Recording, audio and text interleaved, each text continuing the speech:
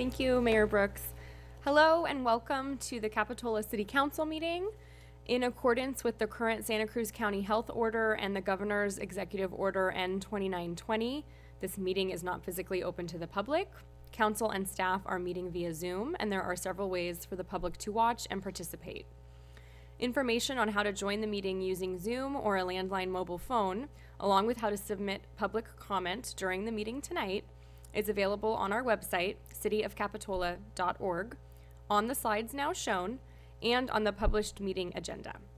As always, this meeting is cablecast live on Charter Communications Cable TV Channel 8 and is being recorded to be rebroadcast on the following Wednesday at 8 a.m. and on Saturday following the first rebroadcast at 1 p.m. on Charter Channel 71 and Comcast Channel 25. Meetings can also be viewed live from the city's website. Our technician tonight is Walter, and I will turn this back to you. Thank you. Thank you, Chloe.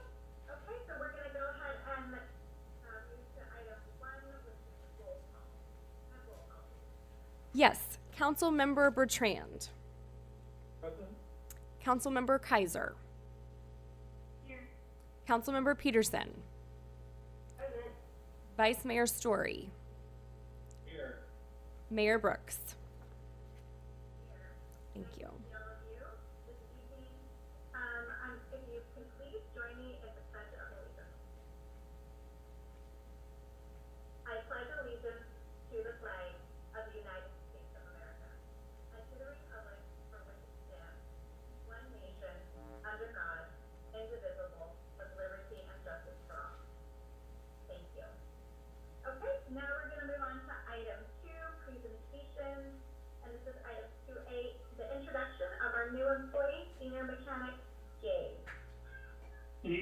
and Council. Thank you very much. I'm very excited to introduce Gabe Kuzik as the city's new senior mechanic. Gabe started working with us in late December, which provided him an opportunity to work with our retired and now senior mechanic for a couple weeks and learn the ropes. Gabe grew up in Santa Cruz, graduating from Soquel High. He went on to complete an advanced engine performance program at Weber State University and became licensed with the state to inspect and repair vehicle ignitions. Gabe has worked for several respected local auto shops and also spent a number of years owning and running his own shop. When not working on cars, Gabe likes to spend time with his son, family members, and friends. So, Gabe, welcome. Thank you. It's, uh, what's that, I'm sorry? I said, welcome. If you, what would you like to say a few words? It's great, I mean, everyone, you know, it's, it's a great job, and then meeting everybody here, everyone's been so welcoming, and so friendly, and it's kinda nice, just, uh, I grew up right on Twenty-Sixth Avenue and always came down Capitola constantly, so it's kinda cool to be able to serve your community, I never realized that it would kinda give you a wholesome feeling to do that, you know, I was looking into the sort of job and then kinda lucked out on this one, cause it's been everything I've wanted, everyone's so great, and then just have that feeling of, you know, growing up here in the history and just, I don't know, giving back in a sense, it's really cool. Creates a sense of wholeness, I guess. Well said, Mr. Kuzic. We really appreciate you and welcome to the city. Thank you very much. Look forward to many years. As do I. Okay, so thank you very much. We're gonna now move on to item two B, presentation of Capitola Police Department Officer of the Year. Good evening, Mayor and Council. As most of you are aware, each year several members of the police department are nominated for the prestigious Herb Ross Award, which honors and recognizes one individual for his or her work performance and contributions to the community throughout the year. And then a supervisory group is tasked with reviewing all of the nominations and selecting the honoree. Tonight, I am so proud and on behalf of the Capitola Police Department to introduce Detective Brantley Sandretti as the recipient of the 2020 Herb Ross Officer of the Year Award. Detective Sandretti is truly the definition of a homegrown employee here in the city of Capitola. Brantley began his law enforcement career by joining the ranks of our Capitola Police Explorer program in 2009 and served in that position for two years. In 2011, he was selected as a parking enforcement officer, served in that position for two years. And then in twenty thirteen, he was selected as a community service officer for two years, and then achieved his ultimate goal, uh, when he was hired as Capitola police officer in twenty fifteen. In twenty eighteen, Detective, uh, Brantley Sandretti was selected as an investigator for our department, and he's in that position currently. Detective Sandretti has always maintained an approachable, calm demeanor, and has a very strong work ethic. During the past year, Brantley has significantly complemented our department's criminal investigations unit by taking on a leadership role within the unit due to significant staffing shortages throughout the year. His responsibilities include case management and follow-up, crime trend analysis, response to incidents requiring specialized training, crime scene management, crime scene management and processing. And Brantley has investigated complex cases involving property crimes, financial crimes, sexual assault, violent crime against individuals, and many other uh, criminal matters in the city here. Brantley has used his experience and his expertise successfully to prosecute many cases through his collaborative and his methodical work with our local district attorney's office. And in addition to those very demanding assignments as a detective, Brantley has the following, following ancillary duties. He's our police explorer advisor, he's a firearms instructor, a less lethal instructor, and a field training officer. Additionally, in twenty sixteen, uh, Brantley was voted by his peers to represent them as the vice president of the Capitola Police Association. Detective Sandretti is an asset to the community, the city of Capitola, and certainly to our police department. It is my great honor to present Detective Sandretti with this recognition as the twenty twenty recipient of the Herb Ross Award, Officer of the Year for his outstanding service to the citizens of Capitola and to our community. And now, if you could kindly direct your attention to Captain Dally's camera, he's gonna present Brantley with the award. Great. Uh, thank you, Chief, and good evening, council and staff. I'm here this evening to present, uh, Brantley Sandretti, Detective Sandretti with the Officer of the Year, uh, award. Um, congratulations, Brantley. Thank you. Thank you. Um, thank you, Chief. Thank you, Captain. Um, also thank you, uh, Mayor Brooks, Vice Mayor Petersen, the rest of the council for giving us a little segment here during your time this evening. Uh, for them to present me with this award is an honor, seeing those who have gotten it in the years, uh, prior to me. Uh, I guess it's been almost ten years now that I've been here. I'm Looking forward to many more years with the city and the Capitola Police Department. Thank you. Congratulations, Brantley, well done. Thank you. Congratulations, Detective. We are so, so proud of you. Yeah, don't go anywhere. Almost all of your face.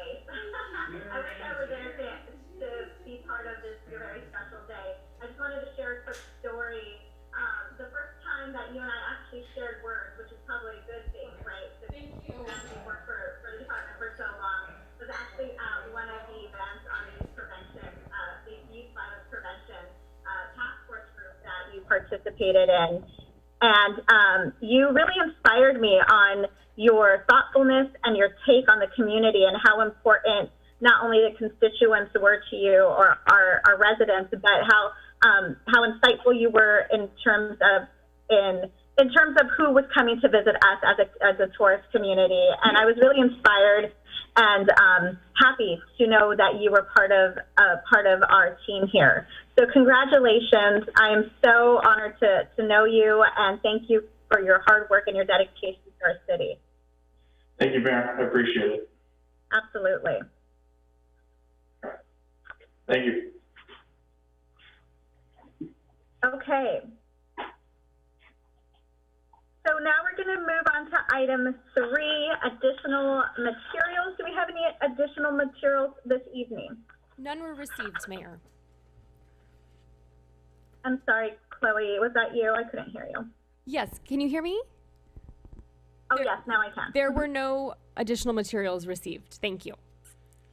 Okay, and um, for item four, additions and deletions, do we have any additions or deletions to the agenda this evening? Staff has no changes to the agenda for this evening. Thank you. Um, so now we're going to be moving on to item five, our public comments.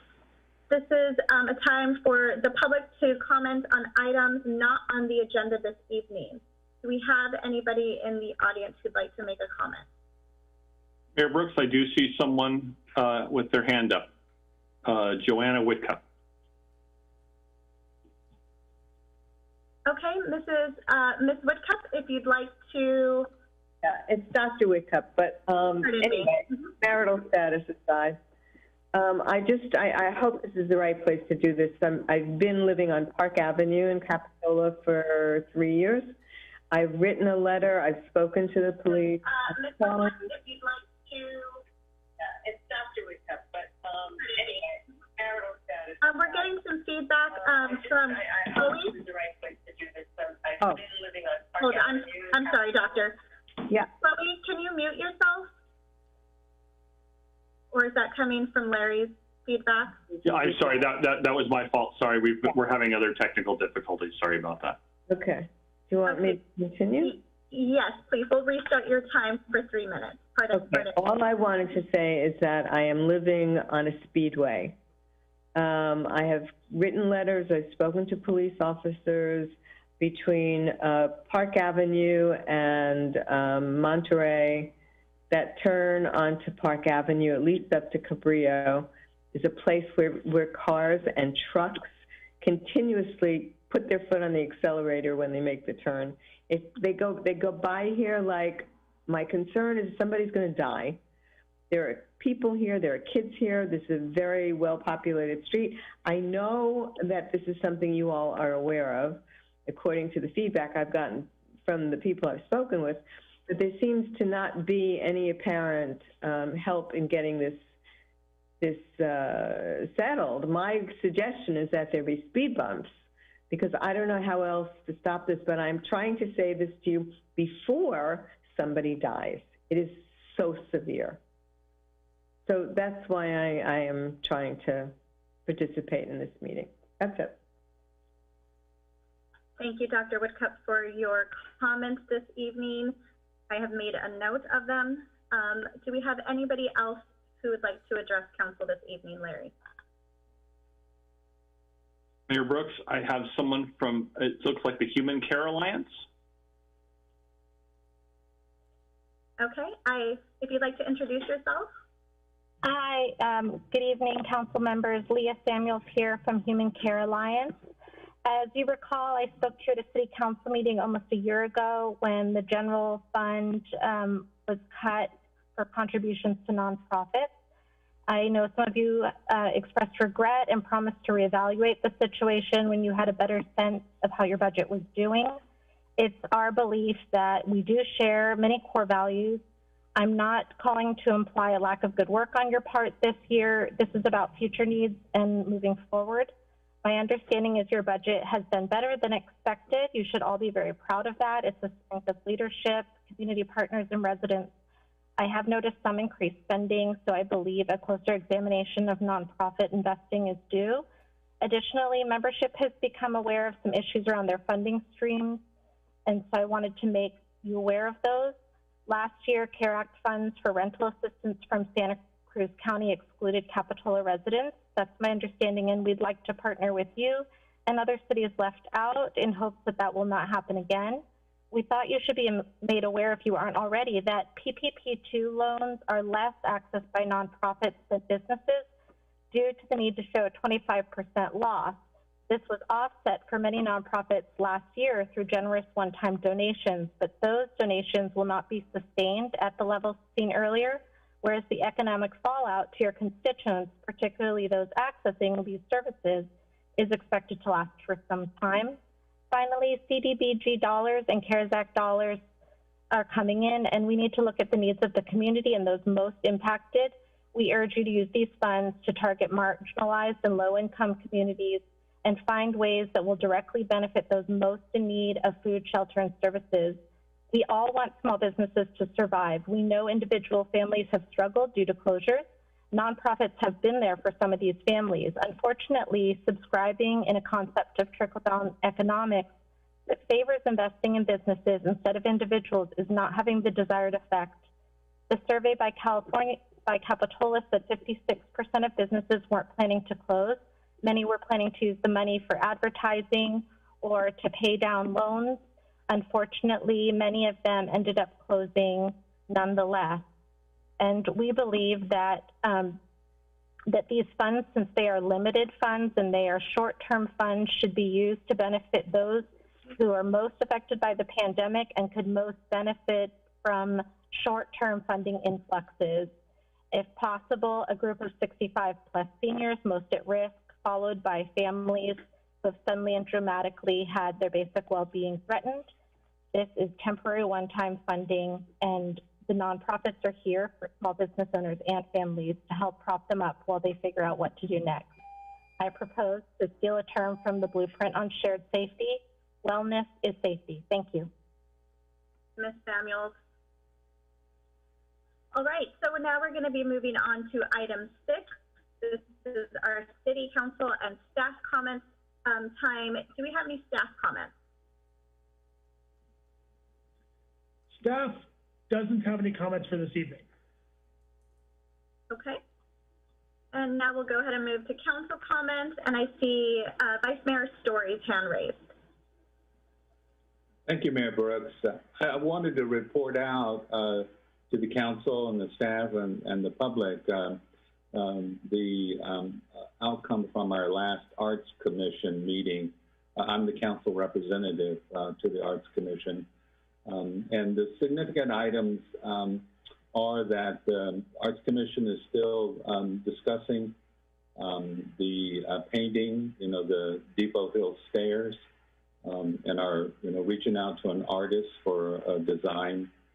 Um, and uh, that one, if once a design is approved, it'll be coming to council uh, for consideration and, and a vote.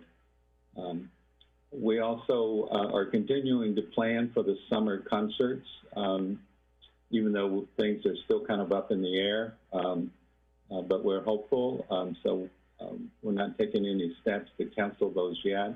And that's also true for the uh, plein air event that usually takes place um, in October. Um, yeah, we're uh, hopeful about uh, being able to put on uh, some sort of uh, uh, of art event at that time.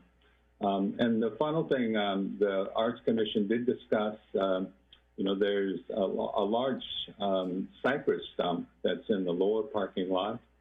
Um, I know some of you may have seen it. Uh, it's quite an impressive stump, and so the Arts Commission uh, took that on as a potential art project um, and discussions of maybe collaborating with our museum uh, to do something um, with that uh, very imposing, very large uh, um, uh, tree stump that's in our parking lot. Um, so um, that's my report on the uh, Arts Commission. Thank you. Thank you, Vice Mayor. Councilmember Bertrand. Uh, sure, Mayor. Um, you know, I heard the comments from a resident on Long Park, I believe, and uh, Steve Jesberg may comment on an effort that uh, City Capitola had at one time where um, various committees were uh, tasked to talk about traffic issues in their particular neighborhoods. And the one that um, was done in Cliffwood Heights identified Park Avenue as particular concern. So that's reflective of this lady's uh, comments. Um, one sort of interesting feature of that street and why there have been accidents is that a lot of people, when they go along that street, especially the tourists, are busy looking at the Bay View and they forget there's a stop sign or maybe someone's actually trying to cross the street. So I think that's contributed to some accidents along there, and um, our police chief could probably tell us a little bit more about what has actually happened on that street.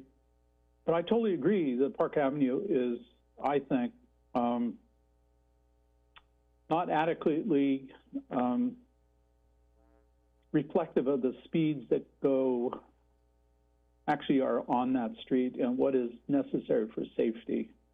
When you get to um, Monterey, first uh, down at the end of Monterey, it's a little bit slower because of the school, but I think it should be as that's posted all the way out to um, what is it, uh, the uh, freeway approach. Um, totally in support of the uh, cultural council doing the street tree stump. I've I've thought that could be a great addition to Capitola, especially the way it's done in terms of making it an attraction to uh, tourists. as they come to uh, Capitola. That could be something that, uh, sort of like the one at the park in Felton, you know, gives all the dates. Could have the date 1949 when the city was founded, and other dates like when uh, the city, excuse me, when this area became major tourist attraction. It's been around that long, so um, welcome the Capitola sign on the top, something of that sort. I look forward to the proposals that come out of the, uh, the cultural committee. Um, also, someone else talked about um, our contributions that are now in abeyance to uh, the nonprofits in this county, and uh, I, I do recognize that I think we've been remiss in our addressing that particular issue that we put on hold. Uh, we did have a process where we were trying to figure out a, um, I guess, a logical way to address our needs in terms of the city of Capitola and how much money that we felt was appropriate to give to that effort to address the needs that the whole community has. So I've been a proponent of this. I think Capitola has a long history of supporting nonprofits, and that's to the benefit of all of us. And so I'd like to bring that forward, and um, I hope the mayor brings to us some item next time, next meeting. I'm making a request to tell us where we're at in that effort. Um, as been pointed out, our budget is much better than we thought before. And initially, when we pulled back from those contributions, it was because we thought we wouldn't have the money. But it's apparent that now we do have much more money. We may not be able to fund to the full extent as before, but I think there is need still. I don't think anyone here on this commission, excuse me, city council denies that need, but how and when are we going to address it as we have before? Um, and I've been listening to the uh, um, the proceedings at Congress, and it makes me reflect more than ever before. I believe everyone here on the council shares my belief that participating in our civic duties and participating on the level that we do, and also knowing that everyone in this community can participate on multiple levels so that our community is strong. So I just put out there, try to think of ways that you can participate so our community is stronger than ever. We have so many communities uh, around here that may not have that participation. I think Capitola is unique. We do have so many people that participate, but keep thinking about that because that's what ensures your safety here. That's what ensures your enjoyment here. And that's what ensures so many benefits that we enjoy because we live in Capitola. Thank you. Thank you, Councilmember Bertrand. Councilmember Petersen. Thank you, Mayor. Um, sort of to uh, Councilmember Bertrand's point, um, pre-pandemic, I believe it was 2019, uh, there was a, a, subcommittee made up of myself and Councilmember Bertrand that was assigned to uh, determining kind of the priorities and considerations of how we should redistribute, uh, uh, reallocate our community grant funding in a way that is equitable um, there was some concerns that previously large percentages of our money were going to just, you know, one or, or two uh, organizations, and some of the other organizations weren't giving getting quite as much. And we had just been doing the same thing every year for year on, years on end without considering um, a, a, new, more equitable approach. Um, and so I think it's incredibly important that as we move into our mid-year budget review, which is coming up uh, very soon here, um, that we do look at reallocating our community grant dollars uh, and I would request that um, we reconvene a subcommittee. I would like to request that I remain on it um, and that we find someone to replace Councilmember Bottorff. Um, perhaps Mayor Brooks, you would be interested, so that we can begin a conversation of how to more equitably um, dis distribute these funds to our community uh, partners. And um, perhaps it may be appropriate for a future agenda item for the council to collectively consider our priorities so that the subcommittee can then uh, convene to use those priorities as a guideline for how we're going to be funding uh, our, our, community programs moving forward. I think it's very important that we look um, at ensuring that, that those dollars are spread throughout our community uh, in, in, an equitable fashion. Thank you, Thank Councilmember Bertrand. I mean, Councilmember Petersen, pardon me. Man, um, I think staff has made that note and we can revisit that and, um, discuss offline. Jamie? Thank you. Um, okay, and I just had a comment here that as we, the groundhog said, there's only six more weeks of winter, folks. So as we hope for an early spring here, um, and we anticipate more, uh, visitors, I, I was looking at the Lower Pack Cove and the signage, and I'd like to ask staff to look at, um, better signage for folks to recognize that there's parking opportunities at Lower Pack, um, Cove in addition to direction or signage um, on how to get to the beach. I've noted folks um, who are uh, disabled or handicapped going the wrong direction to the beach. They're going up the hill, not recognizing that they could go the easier route.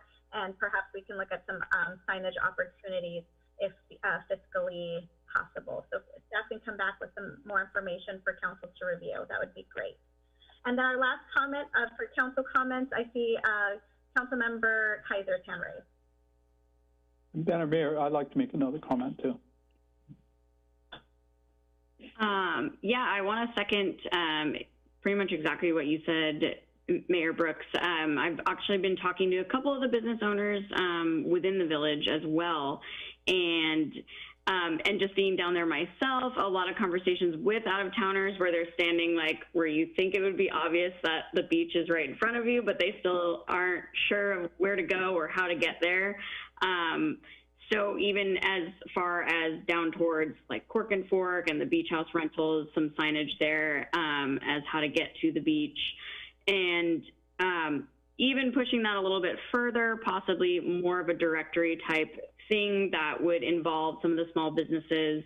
Um, maybe get the BIA involved with that. Um, if we could get something that's a little bit more clear cut and get people um, some exposure to people who are first timers and don't know where their favorite shops are yet and all of that. Um, I think obviously we've discussed uh, doing a sort of goals meeting, so maybe we could visit that when we do that.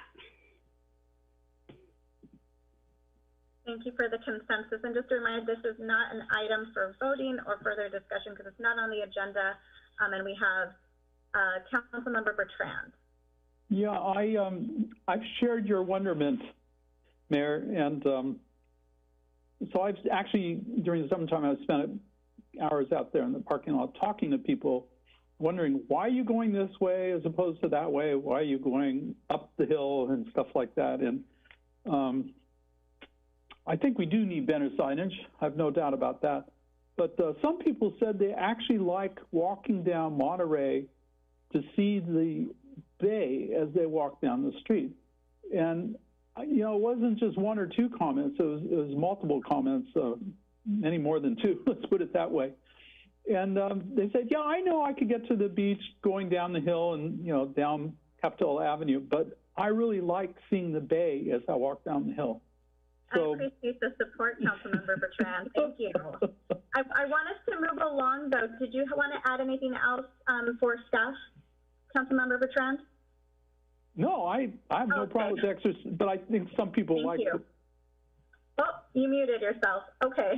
Well, I appreciate the support. Um, I think staff has made that notation there. Um, okay, so we're going to move on to item seven, uh, consent calendar. And as all, all of you know already, this is an item that we will vote on as, as um, including all items. They'll be enacted into one motion in the form listed below. Do we have any council members who have any um, who have any questions about this or would like to pull an item? I'll move. Uh, I'll move approval of the consent calendar. I'll second it. Okay, we have a first Comments? And a first and a second. Any discussion? Or as well, we can't discuss it because it's consent. So um, can I have a roll call, please? Uh, public comments? Um, not for consent. We don't need to take it to the to the public. Is that correct, Samantha?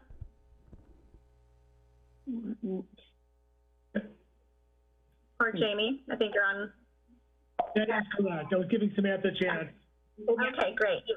So yeah, we do not need to take it to the public, Councilmember Bertrand. So we have a first and a second. Chloe, may I have a roll call, please? Yes. Councilmember Bertrand. Um, I approve. Councilmember Keiser. Aye. Councilmember Petersen. Aye. Vice Mayor Storey. Aye. Mayor Brooks. Aye. Thank you. Okay, so the item passes unanimously at this point. Um, we are moving on to item eight, general government, public hearings. We're gonna, uh, move on to item A, Capitola Historical Museum 2020 Annual Report. And Mr. Perry, I believe this is your item. Okay, well, thank you very much. Um, I'm going to give a short slideshow here.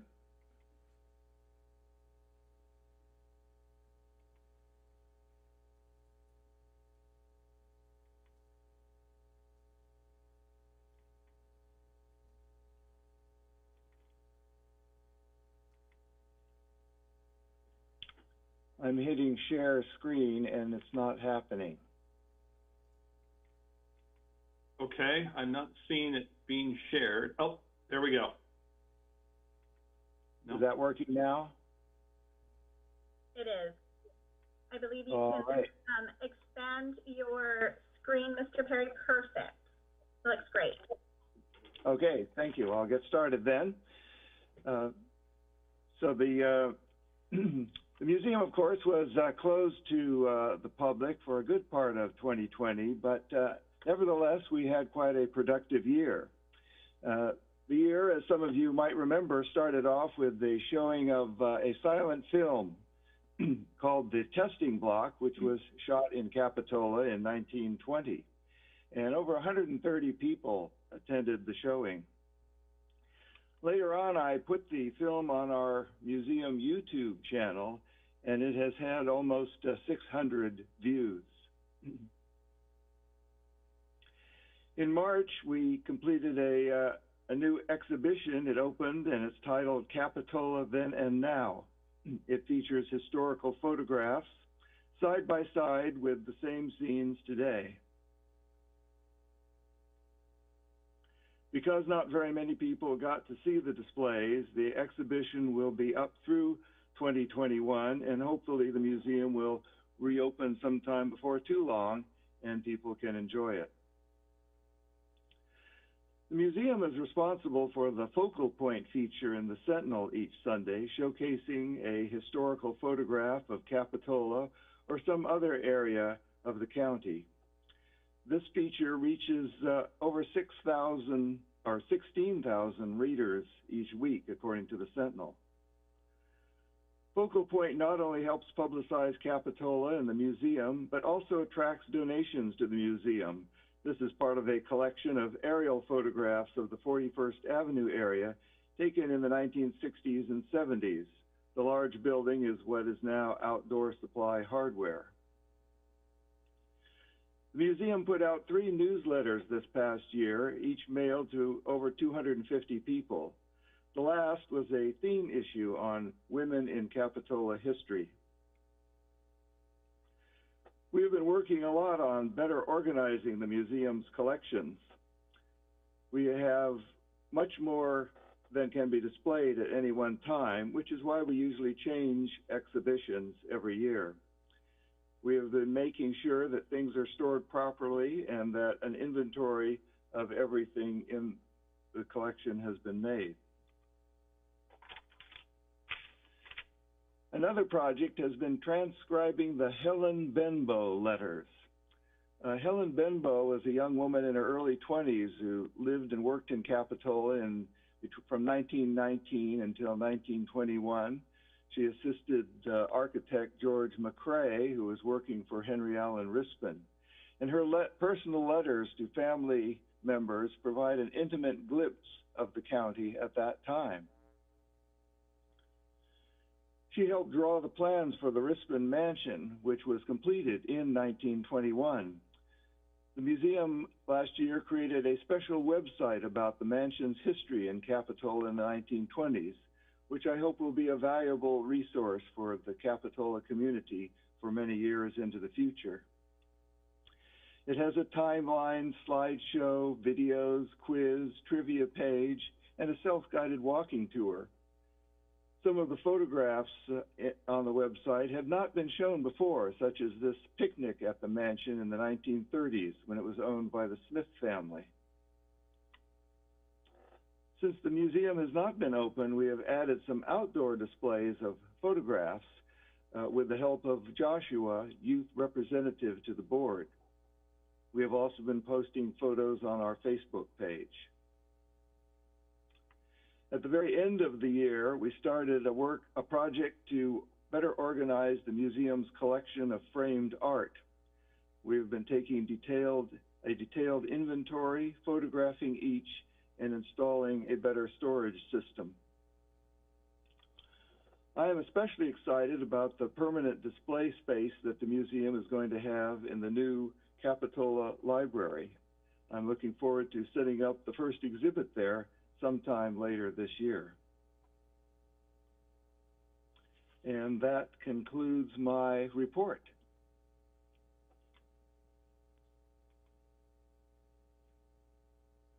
Oh, I can see us, Mr. Perry, in your screen. That's. If you want to stop sharing your screen, that would be great. Thank you so much, Mr. Perry. That was so it, weird seeing myself two times. um, okay, so this is just a um, an item to receive a report, but do council members have any questions at this time? Councilmember Petersen? Uh, I, I apologize. Is this item going to public comment? I have comments, but not questions. Is now I'm the sorry. I'm sorry, you, you broke up. I'm, Oh, I'm sorry. I have a comment, but not a question. Is now the time, or is this item going to public comment first? am I getting myself backwards today? Does it go to, it goes out to public comment first, or did Samantha? I, Mayor, the item does require public comment. You can call for public comment at any time that you would like. I think generally you take questions, then you go to public comment, and then you receive deliberation. So you can Thank just. you. I think, I think I got mixed up earlier with Councilmember Bertrand. Uh, I was thrown for a loop. I lost my train of thought. So, Councilmember Petersen, did you have questions at this time? No, my apologies. I had a, I had a comment. I was confusing the presentation with a, um, an agenda item. So it was me that got, got backwards. So I will hold my comments until after, uh, public comment. Thank you. We'll blame it on the weather today. How about that? Okay, so we'll move to public comments or questions. Do we have any comments or questions at this time from our public? Mayor Brooks, I do not see anybody uh, asking to comment either via the Zoom or via email. All right, so we'll bring it back to council for any comments. Councilmember Petersen. Thank you. Uh, I would just like to thank you, Frank, and the entire um, Museum Board of Trustees and all the volunteers for all of the hard work that you all do to um, to maintain Capitola's history. And I know that throughout this past year in the pandemic, uh, the the museum has been working on collecting people's stories because it has been a, a historic year. And so again, I just want to thank you and and the whole board and all the volunteers for everything you do. Um, it's incredibly important work, and we're very grateful.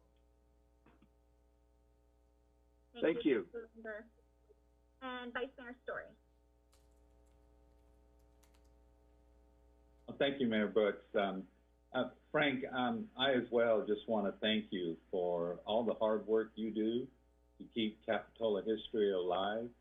I always love seeing it, seeing those old photographs, um, seeing our little red cottage museum. Uh, it brings a smile to my face. I think it's really important that we um, uh, know what our history is um, and that we preserve it. And um, and you, with your board of trustees, I want to thank them as well for um, the work that they do uh, to keep Capitola history alive. And I uh, really look forward to seeing your permanent exhibits in the new uh, Capitola Library. So thank you, Frank.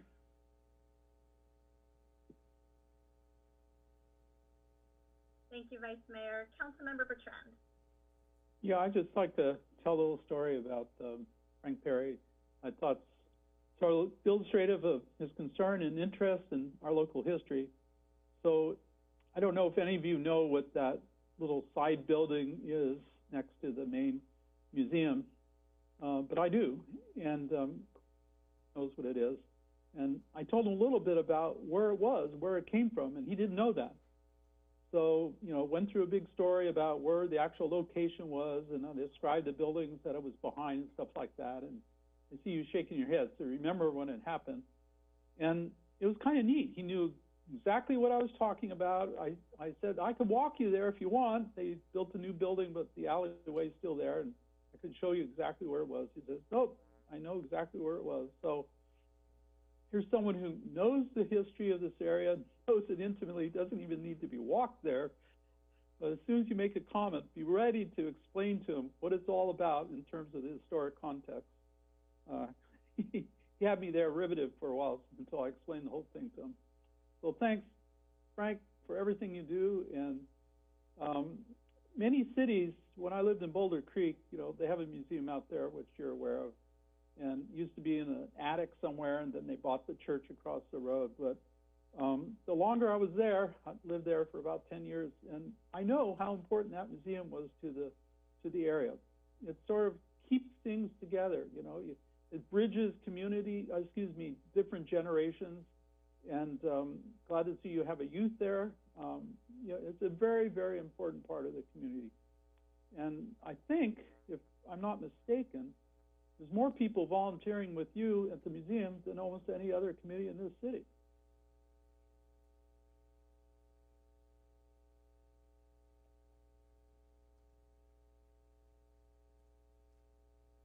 Thank, thank you. You're more than welcome. Great. Well, Mr. Perry, I can only echo what my counterparts have said already. Thank you so much for your work and, and bringing history to life here in Capitola. I appreciate it. Um, and I just want to confirm, uh, Samantha, do we need a vote for this item since it is, um, there is a recommended action? No. Okay, great. Thank you. Okay, Wonderful. So now we'll go ahead and move on to item B. And this is the local early action planning grant update and affordable housing nexus study contract. And I'll turn this over to staff. Thank you, Mayor Brooks and council. Can you hear me okay? We can, Katie. Thank you. Okay.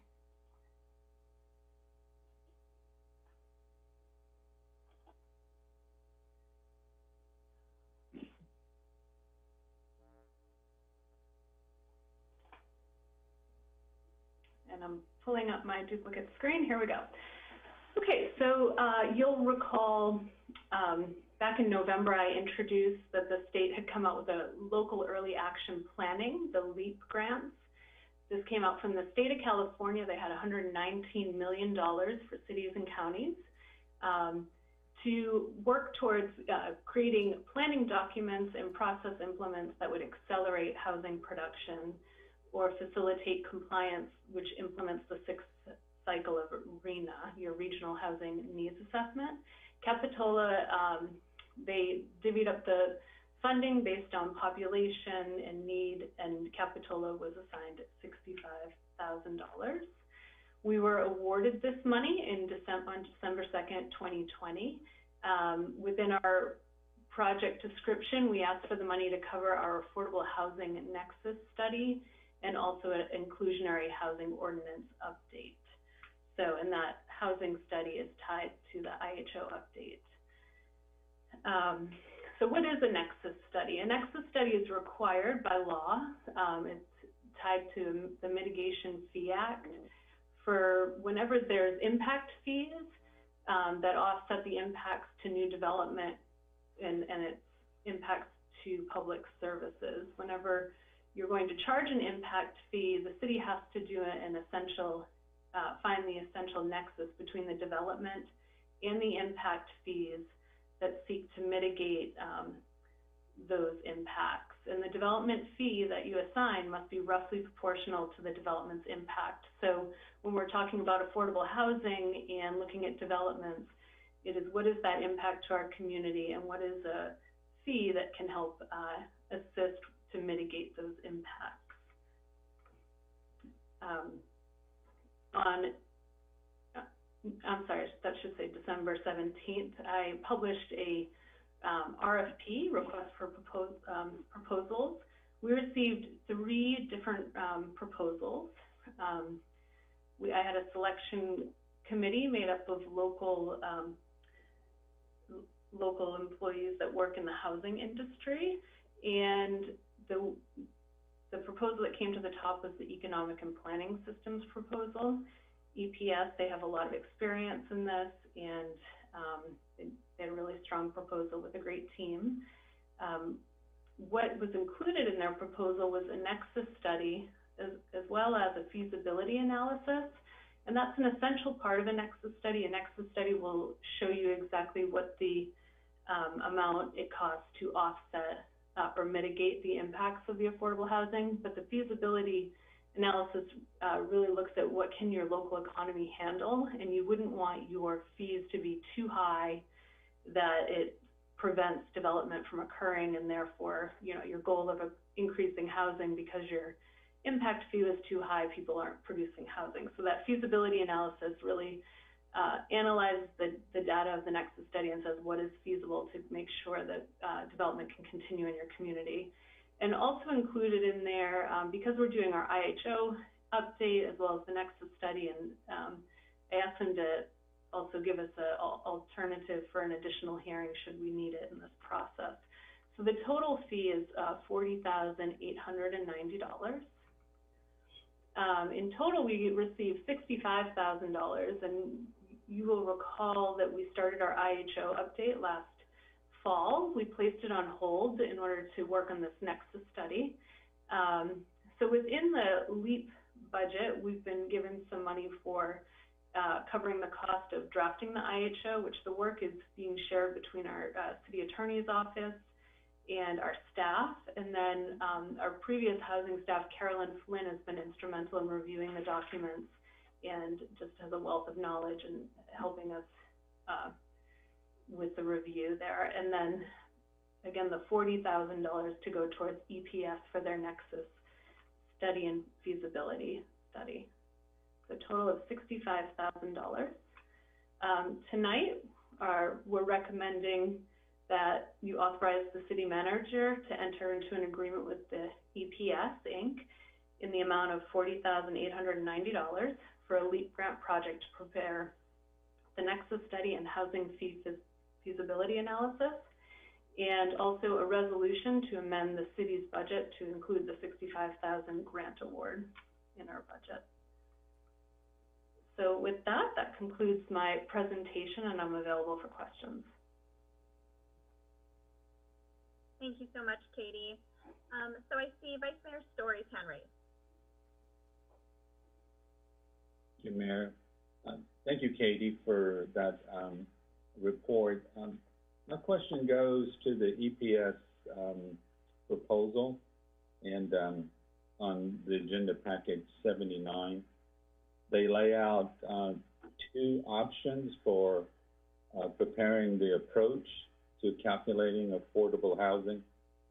Um, you know, there's option 2A, affordable housing demand from full-time residents, um, and option 2B, affordable housing demand for part-time residents. Um, and there's, you know, and I was I was kind of unclear. I was which one of those options had been selected, or if they had both been selected, and they're built into the price. Um, and if they haven't been selected, what what's the process for making that decision? Yeah, so um, within their tasks, in task one to prepare the Nexus study, they did include two options, one for the affordable housing demand for full-time residents, and the second for affordable housing demand for part-time residents. Um, we haven't identified which of those they should do, but I can tell you that um, because our the majority of our housing is full-time residents, we'll definitely have to be looking at that. Um, and we'll also need to work with them to see, is it legal? This is actually something that came out of our IHO discussion. Um, I remember there was a question from council regarding, can we look at the impacts of second homeowners here? So we, we haven't defined which path we're going to go down, but we will work closely with them and I'll work with our city attorney as well to see what can we tie to our impact analysis. I have a feeling it'll, um, it'll almost be a combination of the two, knowing that a certain percentages of our, of our homes go, are, end up being vacation rentals. So maybe we can build that into our equation for the impacts. And our census, you know, um, when our census data comes out in the next year, it'll be interesting to see where our vacation rentals are in the, in the next, in the twenty twenty census and how much they've increased over the last decade. Right, right. Um, are you, are you looking for direction from council on those two options, um, tonight? Uh, cause I didn't get a sense that this is coming back to us before that decision is being made. If, if we need direction from council on that item, I will bring it back, but I think it's more working with, um, EPS and probably our city attorney to see what we can legally put in the Nexus study. Okay, thank you. Thank you. Um, I see Council Councilmember Bertrand's hand raised. Uh, yeah, thank you, Mayor. Uh, Katie, you know, I read their proposal. They identify a couple areas of interest to me. And, um, I may have been the one that talked about, um, housing that's not permanent in this community and how it affects our housing availability to residents and how it skews the affordability.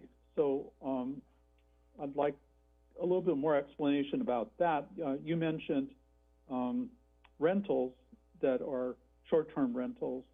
Um, my concern, and I think they mention this in the report or their proposal, um, residents that come here and they may only visit once a year. And, you know, they're taking away housing stock. So, um, if you could address that a little bit, how their proposal might touch on that, and I think some of their experience that they detailed does talk about that. And then I have one more question after that. Okay, um, so they did propose to look at that for, uh, full-time residents versus second home ownership. They did not say if they would base it on a percentage of, you know, um, how many homes in Capitola are second homes, but we'll work with them to see how they want to incorporate that into the analysis. I don't have the answer to exactly how they will do that yet, but there are different impacts um, from primary homeowners to second homeowners, and like you stated, uh, some are just here for two weeks out of the year. Um, so we'll, we'll take a look at that and see what those, they, you know, full-time resident has very different impacts than a second homeowner. So it's something we'll be studying, how they do, work it into the equation and calculating the fee. Um, we will bring that information to you when we're, when we're doing the study. Okay, thank you very much. And um, maybe this is not the right time, but when you're talking about inclusionary housing options, uh, we've been um, aligning ourselves with the state of California in terms of um, granny units, et cetera. Are those considered available when the developer is thinking about expanding housing options, being that um, granny units by and large cost a lot less to build, and maybe that could be equivalent to their fee. So that's a question, and I don't know if this report or this study EPS will identify or even deal with that. I'm just wondering, is there an issue here that could be covered by their proposal, their, your report, excuse me? Um, so the, the, the ADUs, the accessory dwelling units, they, we do not charge a fee for those, uh, an inclusionary housing fee. They're, um, they're not subject to that. We do not currently have a waiver for our, um, inclusionary ordinance if they were to develop an ADU. It's something we can look at because it, um, whether or not that creation of an additional unit can make up for their, um, their requirement for, uh, the affordable housing. Okay, yeah, I, th- I think you're getting to what I'm thinking of, because, you know, we're doing ADUs, we're trying to make it accessible to developers, and maybe if this is a way to increase that number of ADUs in this area, so that, that was my question. Yeah, if, if we were to do that, I would suggest that we would deed restrict the unit, so that, you know, it have to be deed restricted, because Yes, I think there are circumstances where ADUs are developed and a person gets a much larger home and a second vacation home on their property as well. And, but if you deed restrict it for affordable, then it could provide some well-needed housing, so. okay. Um, you know, I've talked to the city manager about, uh, the issues with following up on restrictions. Is that something, uh, city planning could handle, uh, if we started getting deed restrictions on ADUs because it's providing low-income housing? We already, um, have that built into our code to allow, um, that, that you can deed restrict your ADU and, Okay, so Yeah, so that's it- already built Okay, thank you, I just, thanks for that clarification, appreciate it. Thank you, Councilmember Bertrand. Any other questions at this time? Okay, seeing none, I'll go ahead and check in with our public to see if there are any public comments or questions. Mayor Brooks, I do not see anyone asking to comment in Zoom or in email. Okay, thank you, Larry. So I'll bring this back to council for comment and deliberation. Councilmember Bertrand, your hand's raised. Yeah, um, just a, a comment. Um, I'm very interested in what kind of options this study can present to the, uh, city council for, um, part-time residents and, and how we could deal with that, even if it is not an issue or if it is an issue, something to be brought forward to us so that we could think about that. Um, I think in general, my neighborhood, uh, Cliffwood Heights, has been campaigning over the last 15 years, you know, going from house to house. Residents often tell me, don't even bother knocking on the next five houses or something like that, because they don't even live here. And, you know, thinking about a community with such vacancies just sort of makes me shake my head, and also knowing families can't move into there just causes me great grief. So if they have options, I would like to know, you know, for us to consider as a city council. Thank you. Thank you, Councilmember Bertrand. And so when we bring this back for council deliberation and for um, a motion, I do want to um, remind the, the motion maker that we do need to make two motions because there's two different items on item B. There's, uh, well, I should say there's three. There's one that we received the report or the update, and then there's item two to authorize the city manager, and then option three to approve the resolution. So if, um, if we have a council member who'd like to make a motion for item B two, um, we'll start with that. I'll move the update. I'll second. And this is item B two, council Councilmember Bertrand, so that's just to authorize the city manager. That's the item that we're gonna, um, go ahead and, would you like to pull your, um, your first Sorry- motion? Sorry about the order, yeah. I'll, I'll go with authorized the city manager. Awfully sorry about that. Okay, so I have a first, uh, a motion by Councilmember Bertrand for item B two. Do we have a second? Yeah, I'll second. Okay, I have a second from Councilmember Keiser. And I'll go ahead and do a roll call for this item B two. Can I have a roll call, Chloe? Councilmember Bertrand.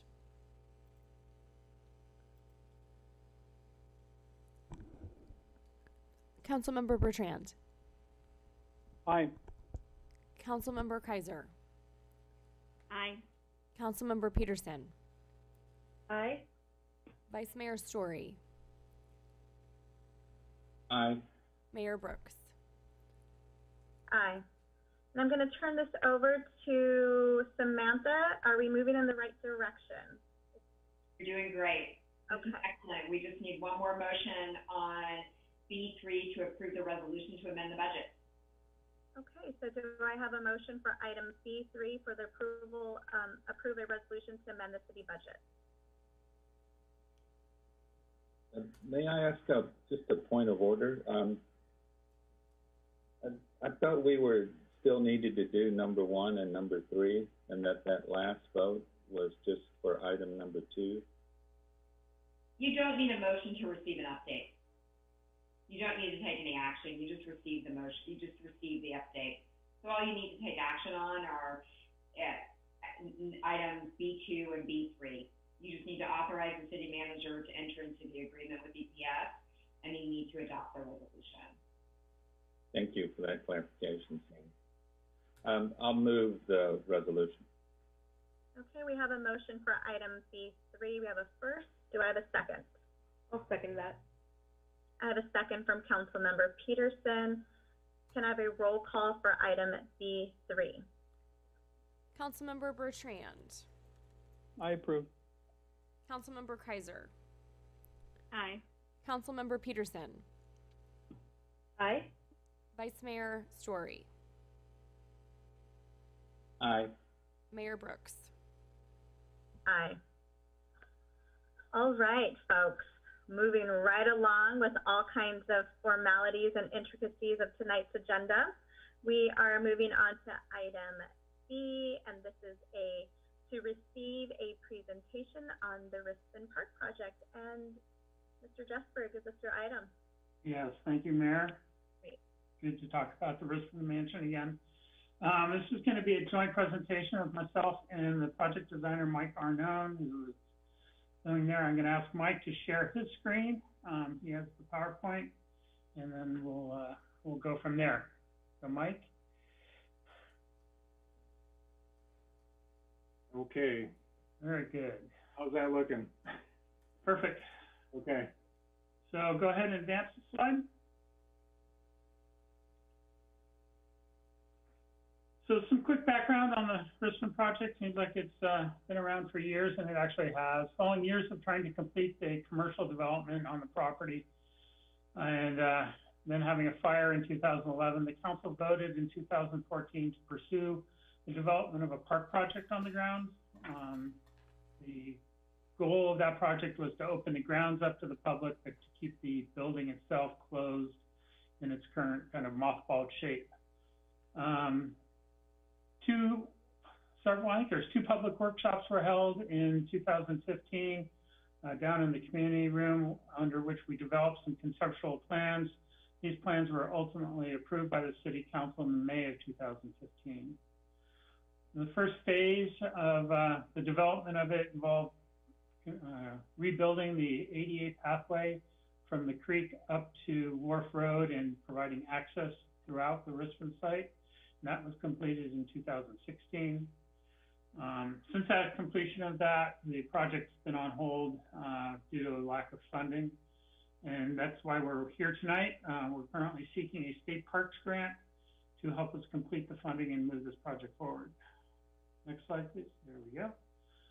So currently, the city recently received or hosted two webinars um, based in to receive public comment on the conceptual design that was previously approved. These were held on November 16th and December 2nd. During these workshops, the conceptual plans were received uh, overwhelming support, and there was suggestions to increase the lighting on the pathway to the creek and to increase and to include rose vines and violet plants. Um, some, I think the rose vines were actually offshoots of what was on the property, and the violet plants are something that were quite common in this area uh, during the, the early 1900s. So we took those, and as Mike will show you, uh, we included those in the plans. Um, looking at the state park grant, the, in January, the city did receive a per capita grant from the California State Parks. We assigned the contracts for that, and it's an amount of $178,000. There's a second state parks competitive grant, which is now available to be applied for. Uh, staff has recommended the city apply for a grant in the amount of $482,000. If this grant is approved, uh, we would be complete the necessary funding and, and proceed with the project. So here's just the, the chart of funding as uh, we stand and where we could be. You see, under current budget, we have the per capita grant, which we have now secured.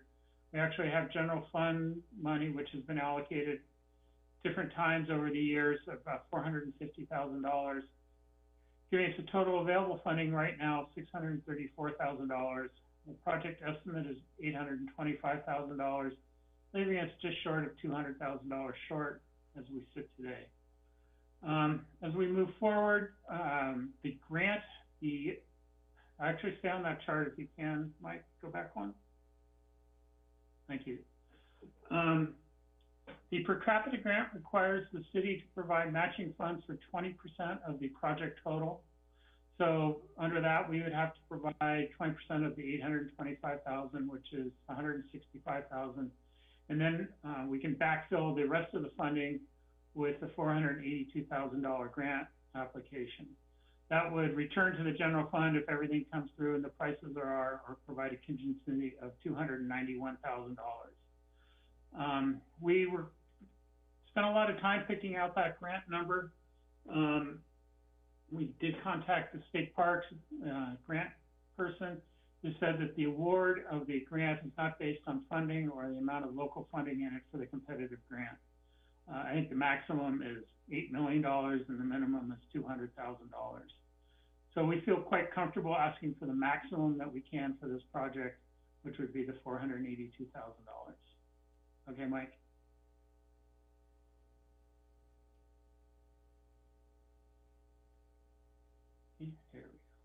So at this point, I would like to formally introduce Mike Arnone, who's the project designer with and landscape architect. Um, you can see the subconsultants and staff that he's used here. I won't list them all.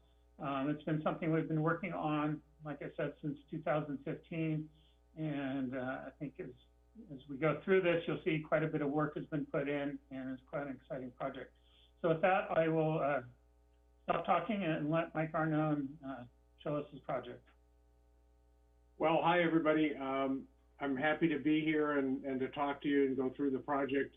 Um, I'll do this as efficiently as I can. There is a lot of information and we want to get through most of it, but uh, just to familiarize everybody with where we are and what we're talking about, uh, these are some great um, aerial shots of the uh, mansion. This is, of course, the remaining part of the Rispin. Uh, this is the new library over here, and of course, Claire's and, and Wharf Road. This section of the um, uh, the, the buildings here are no longer there. They were part of the uh, the convent that was there uh, in the I guess in the 50s and 60s. This is from taken from the other side, obviously, but again, this is the remaining section of the mansion, and this is the you know massive garden area that we're trying to uh, to rebuild. So a couple of things to take note of: there are the eucalyptus trees um, that are way over here are, are not existing at this point. Also, the large oak trees that are in the park now are no are not part of this photograph. So things have changed, obviously, but uh, just to give you an idea of what it what it did look like at one point.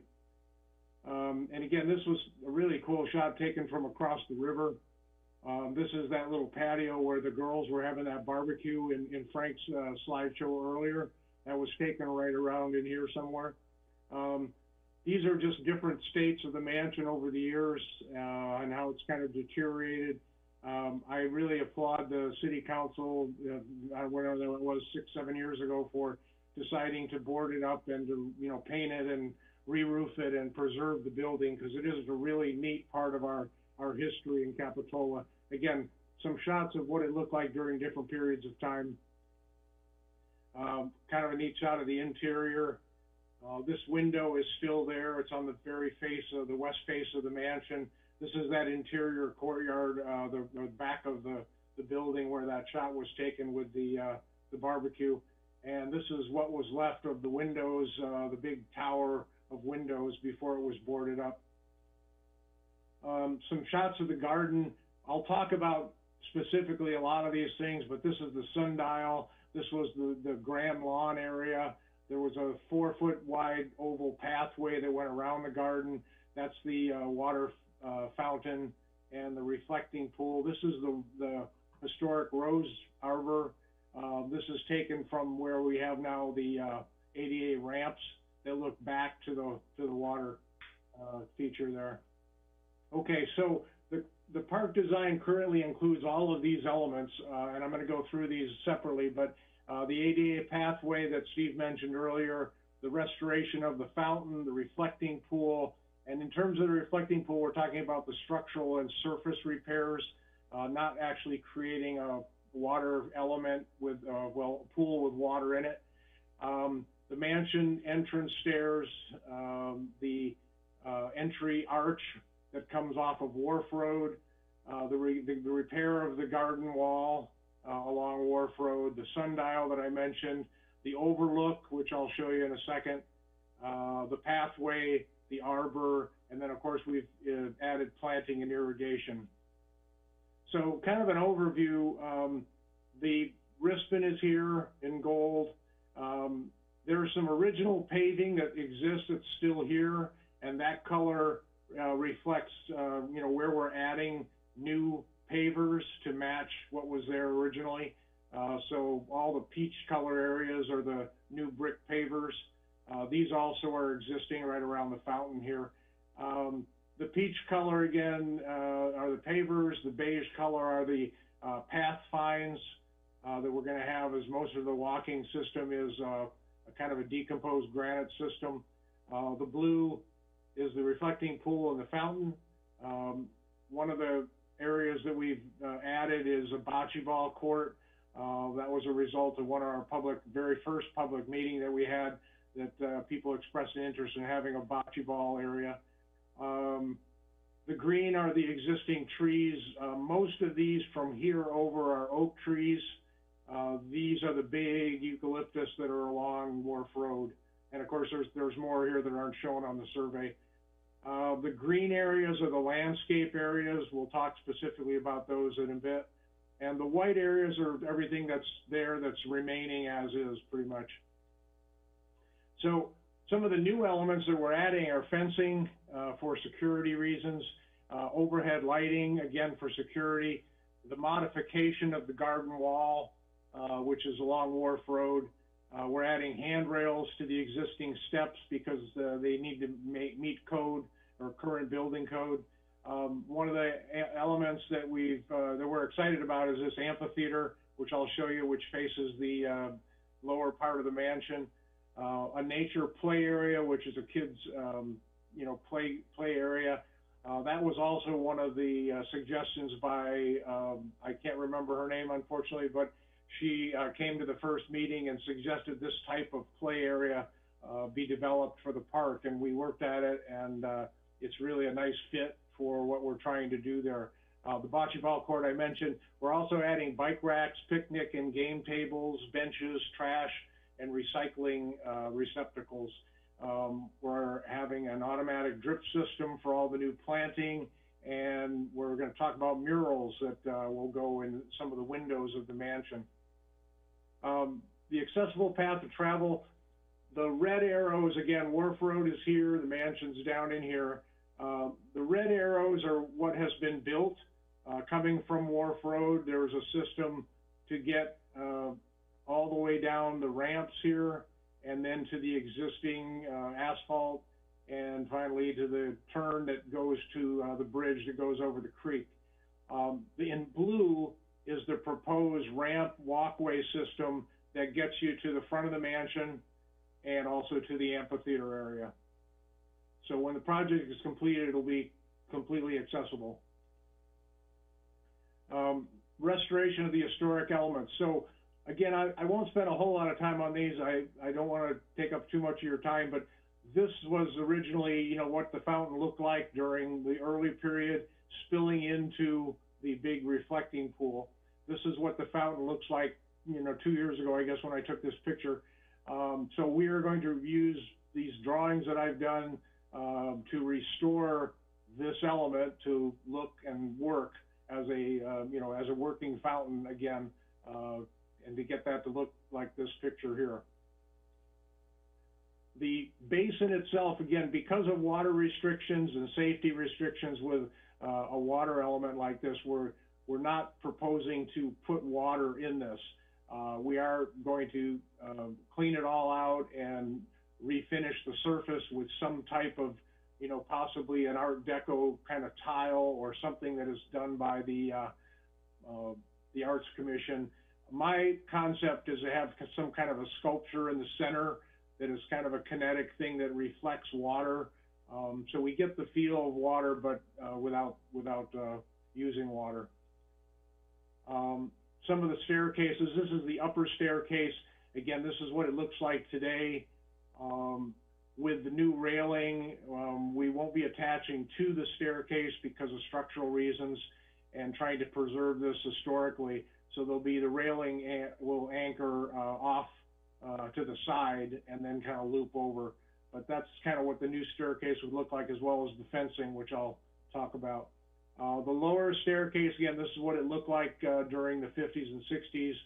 Um, this is sort of what it looks like today. I think it's actually a little worse. Um, the plan is to, you know, again, restore what needs to be restored. These will probably remain, the, the little cheek walls will remain, the columns will remain, although they'll be resurfaced, and this will all be redone uh, because these are pretty beat up, and of course, this is where people are walking, so this has to be pretty safe. So this will all be, the staircase will be redone. Um, here's another shot again. That balustrade in the last picture uh, is no longer there, of course. That's along here.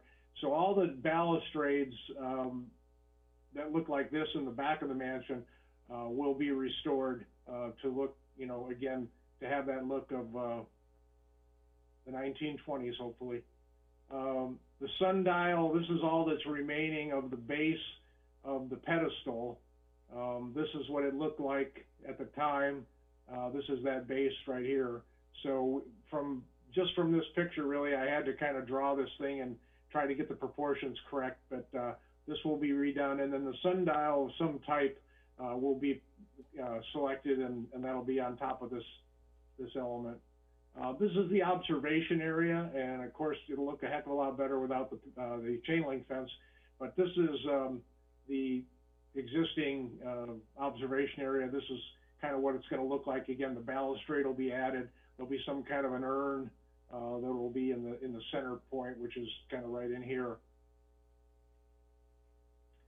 Um, the wall was built by Henry Rispin because uh, he got tired of the smoke and the the uh, the dirt coming down uh, the wharf road uh, when they were lifting wagons uh, to the wharf with, with lumber, and so he Bill had this wall built. So the um, the wall is a little over eight feet high, and the idea really was to kind of create um, to recreate this entry feature, clean this, and repair the wall.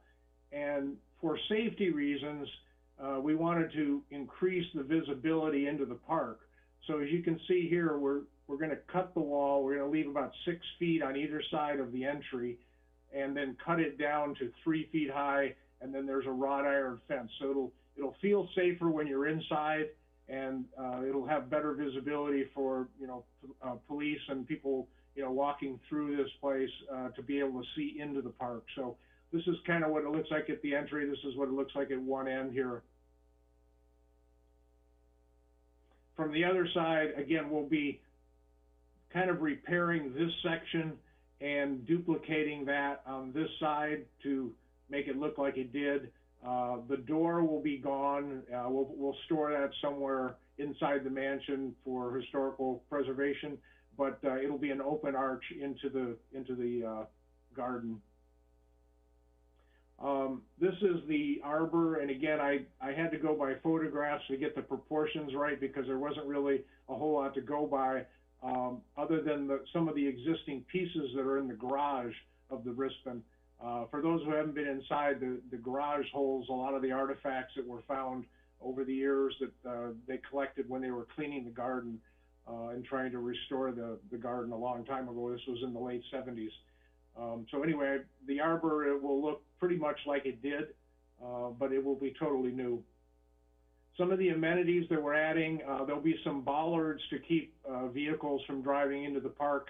There are some game tables, uh, picnic tables, uh, benches, receptacles for trash and recycling, and then there's a number of street light type fixtures which I'll highlight here in another couple slides. But uh, those are some of the amenities. We'll have a couple of dog cleanup stations.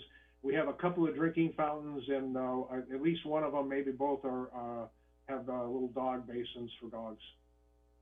So some of the additional new elements, again, just to kind of orient you here, um, this is where the bocce ball court is going. This is the new uh, pathway that we will, will be built. Um, there's a new area of pavers that go around the sundial. Uh, there's pavers that go around the reflecting pool. These are actually planting areas uh, inside here, so the pavers kind of go in and out. There is a service entrance right here, which is where the bollards are. Um, this is the existing uh, step uh, stairway that goes down to the path that's already been done, and this is the existing ramp. Uh, here's the entry arch. Um, so the fencing in red is the new fencing, and it will replace all the chain link. Uh, there is some remaining chain link that will, will be down on the lower section of the mansion that will stay. But all the new wrought iron fencing will be um, along this red line here. And it will tie across. There'll be two security gates that will be locked at night, one here and one at the top of the stairs, uh, right here. Uh, the yellow circles are the locations for streetlights. Um, and you can see they're kind of spread out and they light uh, the area of the park. We're going to try to make sure that these are screened or shielded so they're not lighting into the riparian area uh, and of course the neighborhood across the creek. Uh, this is roughly what the lights will look like laid out in terms of their, their light span.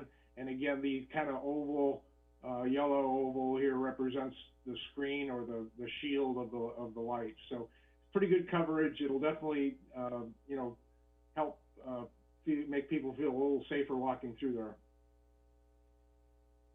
One of the uh, input, uh, some of the input that we had at the, one of the hearings was the uh, addition of lights along uh, the, the trail, uh, again, from the handicap uh, accessible ramp system that comes down to the creek.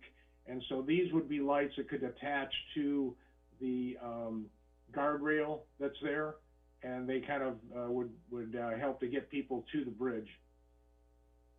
We haven't really picked a light. This is uh, something that we're adding into the project, but some type of light that would mount onto the guardrail system, whether it's that or uh, you know something a little more subtle. But uh, it has to be really safe uh, as far as vandalism, and, and I, I think this one kind of fits the bill here. It looks like it's probably going to be the most durable, but we'll pick something that will work. Um, as I mentioned during the very first uh, meeting that we had with the community, uh, it was this nature play idea was expressed. So, well, the idea of nature play, if you're if you're unfamiliar with it, is really using things that exist uh, on the site um, to let kids be creative and kind of make their own playground. And uh, so this is the idea that we kind of took and, and kind of ran with. Um, what we're, the location again is, um, this is the observation area. These are the main stairway down. So there's a nice area here that's fairly flat. Uh, it's in the shade of the oak trees. These big circles are the canopy of the oak trees. Um, and I, the idea is to use artifacts from the museum, or I'm sorry, from the mansion, um, that we have stored. And so things like the columns, those pieces of columns, uh, some of the big, um, you know, uh, pieces of uh, different uh, things that we found, the stepping stones and so forth, uh, and let the kids kind of make their play, you know, their own play. So this is a fairly, you know, good size area. The slope, uh, the hill, you know, kind of begins right about in here. So this is about as, as wide as this can be. Uh, again, some of the artifacts, there's pieces of the columns. There's uh, some really large uh, columns from the wall out front that are, are gone. Uh, there's all kinds of stuff in, in the garage that we, that we can use. Um, the area for the amphitheater is right in here, and it's cut into this hillside. And the idea, again, is to kind of have a place for uh, presentations, for, you know, um, uh, discussions about the mansion or some of the other elements that we're, we're bringing into this, like the butterfly restoration. Um, it would be a really neat place to have small concerts, um, you know, a wedding venue perhaps, and, and uh, things like that. Uh, this is sort of what it would look like um, with the grand staircase coming down on one side, and then there's one, two, three, four levels of seating. So there's probably, I would guess, 60 to 80 people probably that could fit in the seated area, and then people up above, uh, above the uh, uh, upper level looking down and so forth. Uh, this is kind of a cross section of what it would look like um, as it's built into the hillside.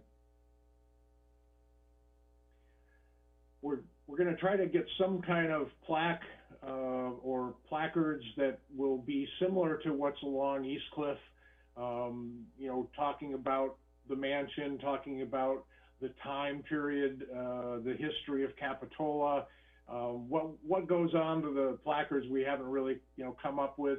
Uh, logically, there there might be some that talk about you know the, the name of the park, the date of the construction of the the mansion, and, and so forth. Uh, talking about the nuns of St. Clair during their their part, um, having placards that maybe describe the oak woodland restoration area and the butterfly habitat area. Um, maybe you know a discussion of Rispin and his his life and and what uh, he did for you know Capitola and so forth.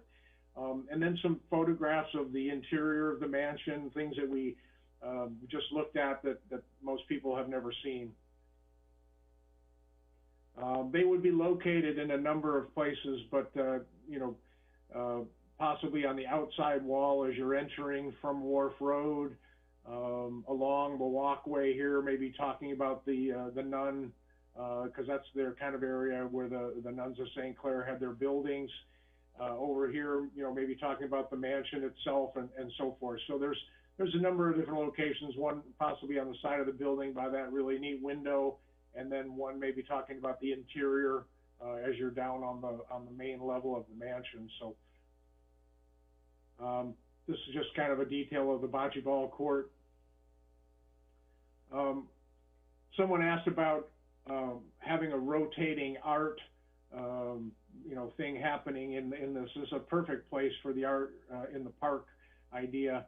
Um, and we do have there's four pedestals uh, that would look like this, which are basically copied from what was you know the original uh, column that they used for uh, the other parts of the garden. Um, and these could be the place where we do some kind of rotating art or uh, the center point of, of uh, the, the art area. I've always felt that the, you know, the paint and the roof and, and everything that they've done to preserve the mansion, you know, was great, but it, it just seemed cold to me.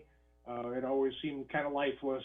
Uh, and I guess that's, that's part of a deserted mansion. Uh, but the idea to kind of deal with that, uh, or to in, improve that is to put some kind of murals in the window.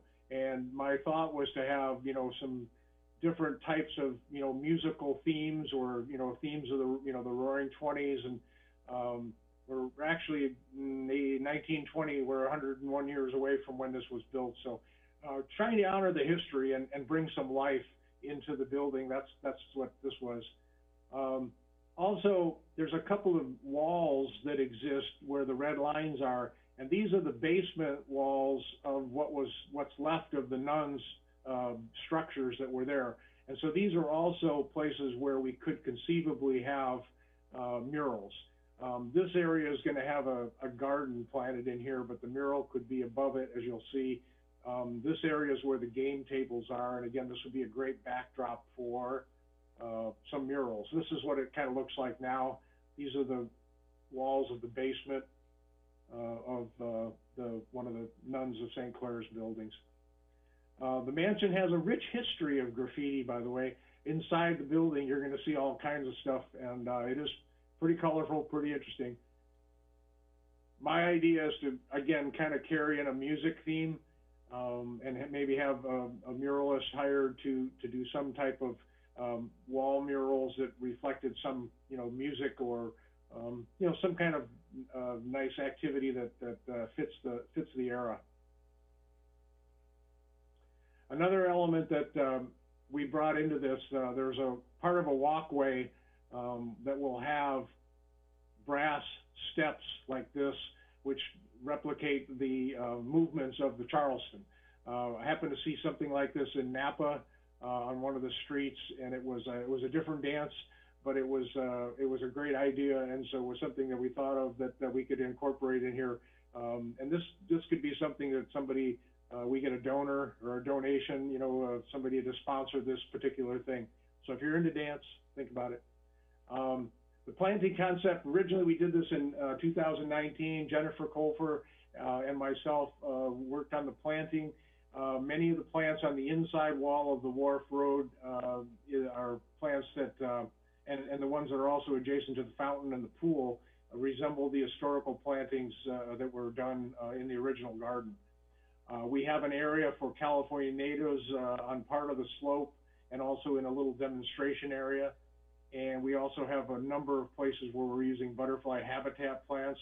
And then right next to the amphitheater, there's a location where we have a, an actual demonstration garden of the butterfly habitat. So on this slide, the butterfly habitat stuff is in the peach color. Um, and here's that, um, demonstration garden. Uh, but we've also spread out a number of places where we have, you know, nectar plants for butterflies. Um, the red area is where we are going to try the roses. Um, at the time when the roses were thriving, uh, there was a lot more sun. The oak trees that are there uh, now are huge if you haven't been there in a while. Um, but we're going to give it a shot and, and try it, and I think we, we might be okay.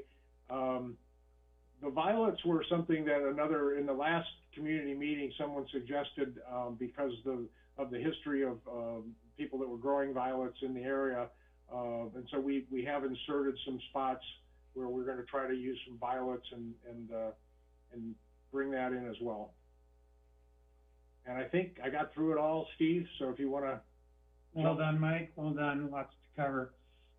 Um, so that's our presentation. The recommendation tonight is to approve, reapprove the proposed conceptual plan for the Rispin project and adopt a resolution authorizing the submission of an application to the California State Parks for a second Proposition 68 Park Development Grant with the awarded funds going to this project.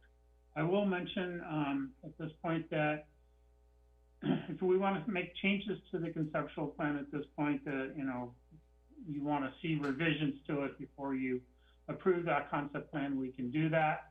Um, I would ask that we go ahead and approve the resolution if we can at this point, so we can complete our application. The application does not include, you know, the final plans. It- it- We discussed the project in general terms. Um, so certainly we can make changes to the project after we submit an application. And with that, I think Mike and I would be happy to answer any questions. Thank you, Steve. Okay, um, can we stop sharing for a second? Mike, do you hear that? Can you stop sharing? I'm sorry, what? You stop sharing your screen? Sure. There we go. Thank you so much. So council, I'd like to take this as, um, two separate items this evening. The item, um, on the agenda says to receive a presentation of the Rispin Park and approve a resolution authorizing the Public Works Department to submit a grant application to California State Parks. So I'd like to take that as the first item, and then we can, um, then move on to the, potential second item as in staff recommendations. So I want to start with if there's any questions in relation to item C regarding the grant application. Do we have any questions at the time?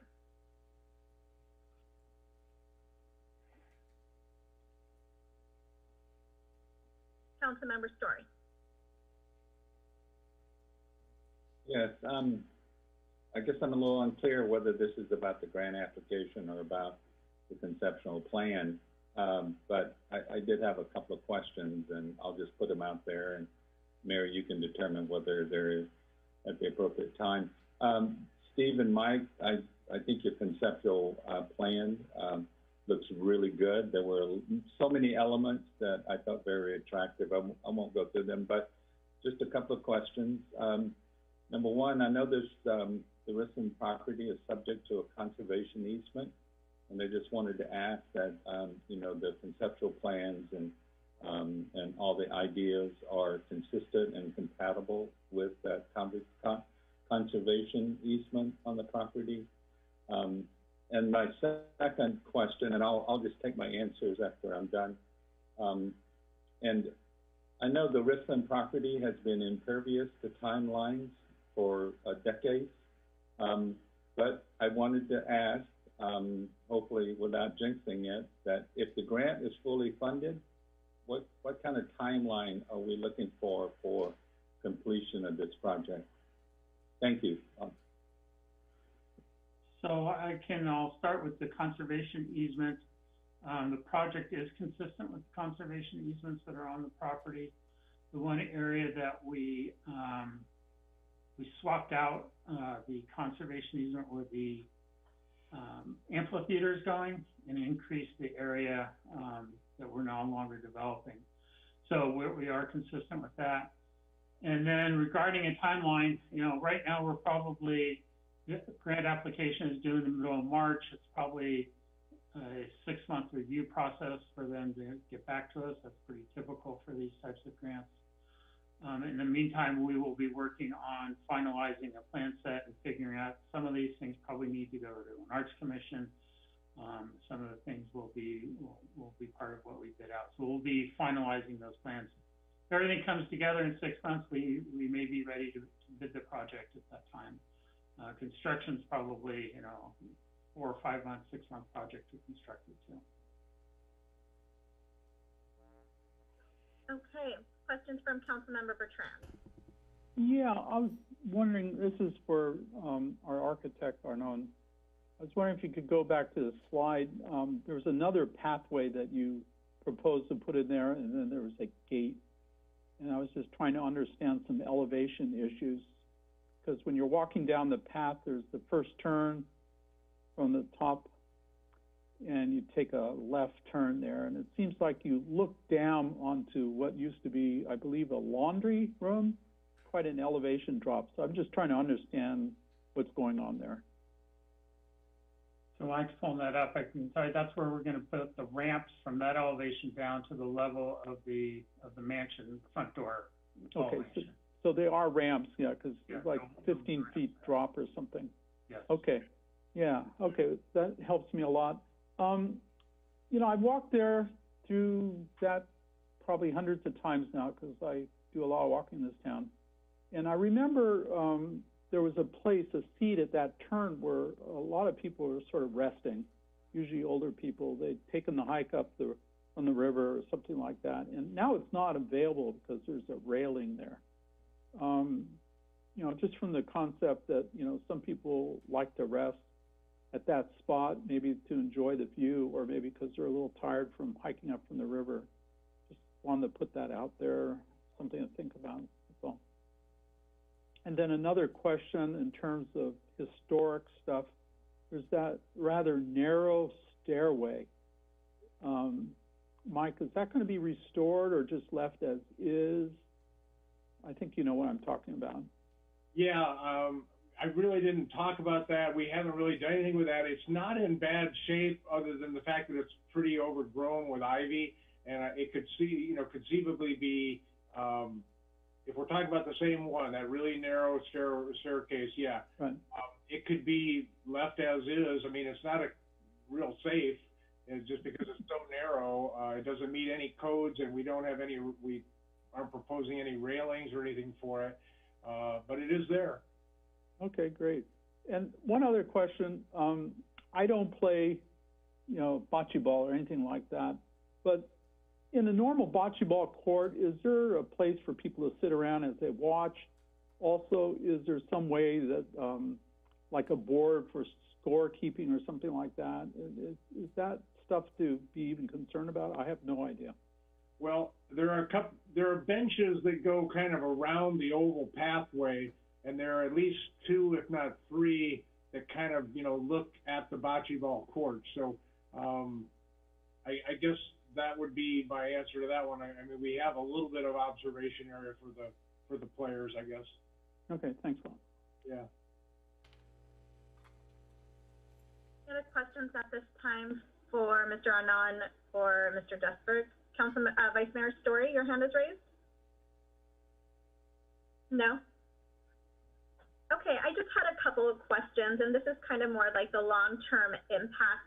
Um, has there any been just any discussion been had about, uh, after it's all said and done, what the fiscal impact would be on the city of upkeep and what, what's in, within the bandwidth of the city? We have looked at that. Um, certainly it, it adds more, more, uh, work for our park maintenance crew. Um, at that time, we, we, I think, added a position when we opened the, the Gregor Park and then had anticipated hopefully having this open sooner than it has been. So there was a position added there. Um, from a financial impact as far as cost to maintain it, um, besides, besides labor, um, there's, you know, the power costs are pretty minimal to keep those lights running. And we're hoping the vandalism will actually decrease at the site. Um, we're spending quite a bit on that. Um, we haven't done any further analysis than that though. Okay. And then, um, in regards to signage, Mr. Arnon, you, you showed kind of cool signage like for the historical aspect, but what about other signage to get to and from the park, like, um, from down, I'm just, I don't know if there's a specific term from like Nob Hill parking lot, up, where, was there gonna be any additional signage to point out the park? Um, as far as lighting, Signage, sir. oh, signage. Um, well, I mean, as far as the signage, I, we have, you know, the locations that I kind of showed, the, the five or six locations were kind of it. We didn't really think about, uh, the approach from Nob Hill, honestly, as far as how to get there. Uh, when, when the park is, when the gates are open, you'd have, at the turn, you'd have, uh, you know, a pretty good vision of what's going on, and then, you know, there, there could be another type of placard at that intersection, which is a great idea, um, where we make that hairpin turn, yeah. bear with me, I have several questions. Um, my other question is about parking. So I understand there wouldn't be any parking on Wharf. Has there been any conversation with the property owners? I don't, can't remember their names, but of Nob Hill, if they're going to allow for public parking to access our, our park? I think coming up with a parking agreement with, uh, I think it's Red Tree Property owns the Northville Shopping Center, um, may be difficult because I think they, they're required to have, um, the amount of parking they have. Um, there will be parking, some will be quite limited over at the library. Uh, always intended to kind of be the parking for the Rispin. Um, otherwise, it's gonna be a park that you walk to, um, in all honesty. There isn't a great deal of ability to add parking anywhere short of, uh, purchasing some property, maybe adjacent to the library property, which would be quite expensive at this point. Okay. And, um, from looking at the slide, am I understanding that the mansion itself wouldn't be open to the public? That's what the, the bars around it would be? And is, is that correct? Right. Okay. The mansion, uh, is not really accessible, and it's not really safe if, if you've ever been inside it, so, uh, Yeah. it'd be great if we could do that, but maybe we take one step at a time and do the park, but, yeah, the, that's why the, you know, the placards showing what it looked like at one time and, and, and possibly even what it looks like now, uh, to describe it, but no, the mansion would not be open.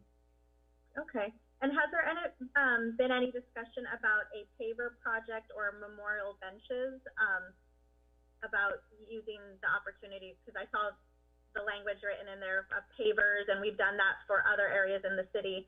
Um, has there been any discussion about that at this time?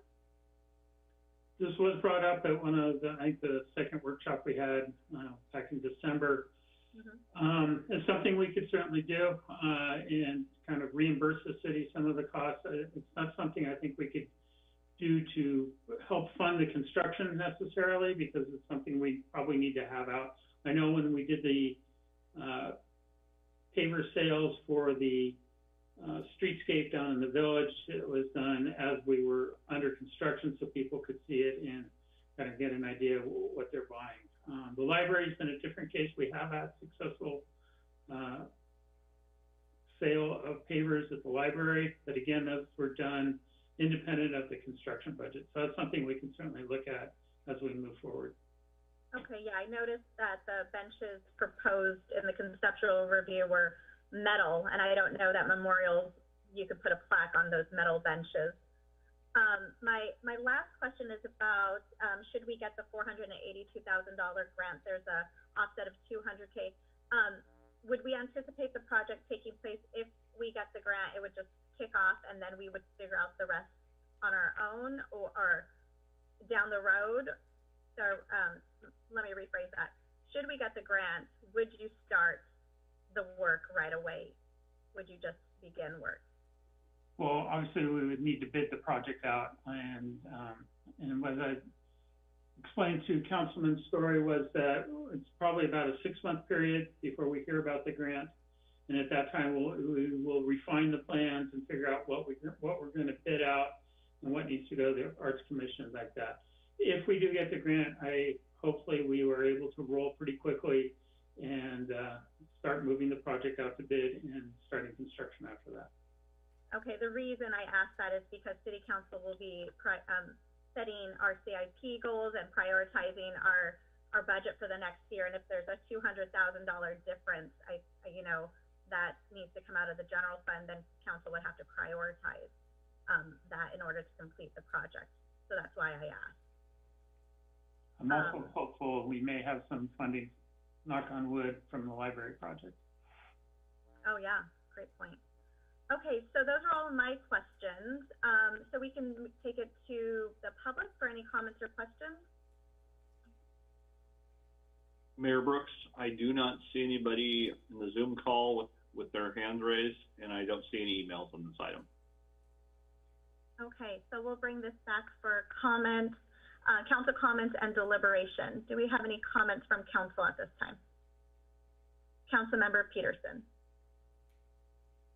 Yeah, I just want to thank uh, staff. Thank you, uh, Mike, and, and everyone who's put all their time into this. I'm really excited for this project. Um, I've been thinking about it and talking about it for years now, and especially once the library is completed, it's going to be a really uh, exciting addition to that corner for families to go and grab a book and go over to the, the you know this historical park.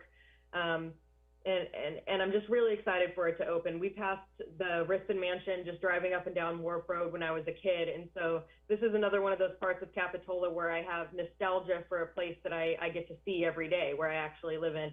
So um, thank you all for your work on this. I'm really looking forward to it. Um, and, and while there may be continued, continued conversation uh, for the sake of uh, getting us moving along, I would like to uh, make a motion to uh, approve the, what, let me see what the exact language is here. I'll say, for now, I'll just say to approve the staff recommendation. I'll second that.